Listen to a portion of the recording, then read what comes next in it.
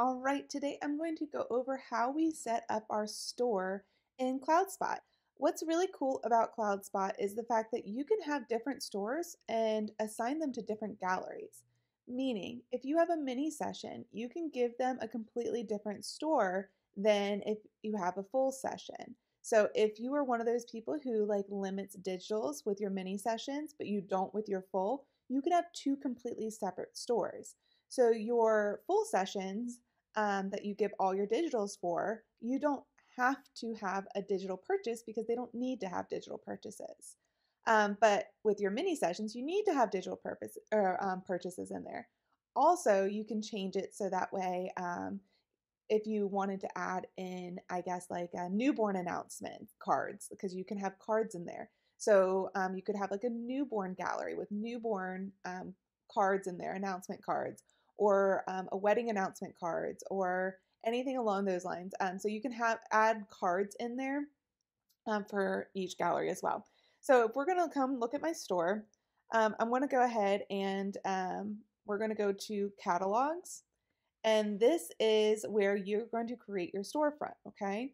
So here um, you can see that I've already added some in here. I'm going to delete this one this was my example. Okay, so these are my um, uh, storefronts. So this is my default, which is the one that um, everyone is going to go to, and unless you're a mini session. And then these are my mini sessions. So I deliver anywhere from 25 to 35 um, images in my mini sessions. And if you want to see how I set up my mini session storefronts, then I would recommend you going back and um, looking at my video where that'll be linked below um, where I talk about how I use CloudSpot to sell my mini sessions. But today we're just going to go ahead and create a catalog and I'm going to show you how we're going to create a storefront. Okay, so we're going to go ahead and create a catalog and this is um, where you're going to put um, your catalog name and everything. So we're going to go ahead and name it um, full session or maybe, yeah, full session and then um, you choose the print lab that you want. So we can do like White House, Miller's, whatever you want, okay? You can also choose um, what you would like if you want to have premium packaging, um, or we can do color correction. That's up to you. Um, minimum order amount, if that's something that you would like, like, you know, you have to order at least $50, go for it. I do not do that. Um, you can change it to make um, this your default galleries or apply to all galleries with sales. Um, you don't have to do either one of these. Um, I don't just because I like to assign which gallery to um, or which storefront to each gallery. So then approve orders before fulfillment. I always do this for two days just so I can double check and make sure cropping is correct and everything, okay? So then we're going to go ahead and create. So from here, um, we can kind of decide what we want in our storefront, okay? So um, if I decide that, you know what, I really don't want to offer um, metal prints, okay? So what we can do is we can go to metal prints and then we can say remove from catalog. All right. And so now it's kind of like, I guess like a uh, faded out. So that's not offered in this anymore. If I want to add it back, we're just going to go to Edit, Add to Catalog.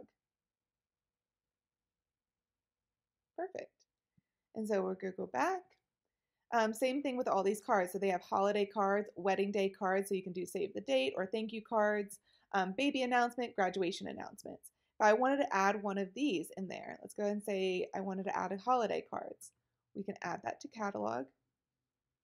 And then we can also come down here and change the markup. So um, you can change the markup to whatever you would like. Uh, we can do like 150, so it would do bulk and it would apply to all of them, okay? So this would be your your price. This is how much money you would be making off each one of these, okay? So if you, when you're figuring out your um, your store for every single bit of CloudSpot. Um, so we can change up all of the pricing on even the prints and everything. Um, this is the markup and it'll apply to all of it and you can see like how much you'll make on each one of these, okay? So we're gonna go save, we're gonna go back and you can do the same thing with prints. So we can do a bulk markup and this is going to apply this markup for every single um, product in your shop, okay? So you can do anywhere from, I mean, I wouldn't recommend 30%, but um, anywhere from 150% to 300, like whatever you would like. And then if you want to see what it looks like, we can just expand it and you can see. So for this, the lab cost is 95 cents. I'm charging $3. Um, we are rounding up to the nearest zero, or you can say no rounding. So if I say no rounding, then I'll go there. But if I want to mark it up to the end, um, round to the nearest zero, if you notice, the price was 380 and it's rounding up to $4. Okay. Um, and then you can also,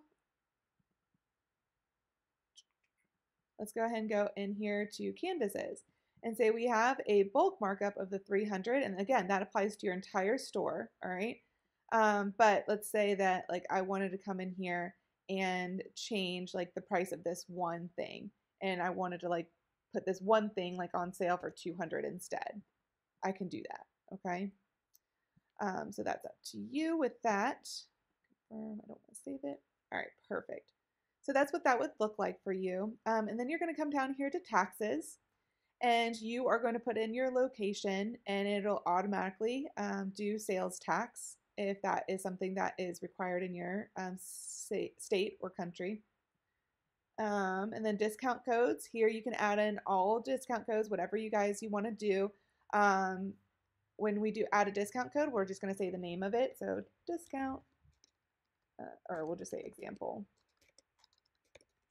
And then this is going to be the code. So we'll say example. And then you can either change it to dollar amount or percentage. And um, we can say like you get 20% off or whatever. Let's go 20% off. That to subtotal, shipping, or digital sales only. So if you're someone who's like, you know what, I only want them to get 20% off their digital sales, then you could do that. You could do um, 20% off their shipping, or you could just do the subtotal, okay? And then you can say this is not applicable to digital products, um, whatever you want. Include free economy shipping, so you can include free shipping for them. Um, this is where you're going to do an expiration date if that's something that you want um, to have on your discount. And then minimum order if you're like, you know what, they get the 20% off only on orders of $100 or more. Okay. And then max uses, um, make sure you would want to do one time because if not, then they can use it multiple times. Um, or if it's something that you're like, you know what, yeah, they can use it multiple times for the whole week or whatever. They can use that 20% off code as much as they want on their gallery. Um, then don't put anything in there. But if you're like, nope, they can only use it one time, do the one, okay? And then we're going to save um, payment options. Um, go ahead and link it to a Stripe account. If you do not already have a Stripe account, it's super easy um, to do. You just go to Stripe and you create an account and then you can link it here, okay? And then here we have our store branding. This is what it's going to look like at the top of your store. So when people go to your gallery and they go to your store, this is what it's going to look like for them, okay? And um, you can change it up. So this is the header image for desktop. You can either remove the image or you can upload an image of your own if you would like. What's really cool is where it says gallery image is um, it'll put an image from your gallery in there. And then you can do your um, logo. So my logo looks like that. And then the text caption, it says print shop. You can make it whatever you would like right there and then you can do your color option, okay? So what's cool is the fact that you can literally put in whatever um, your brand color is here as well. So super easy to set up your store. Um, I hope this helps with setting up your storefront.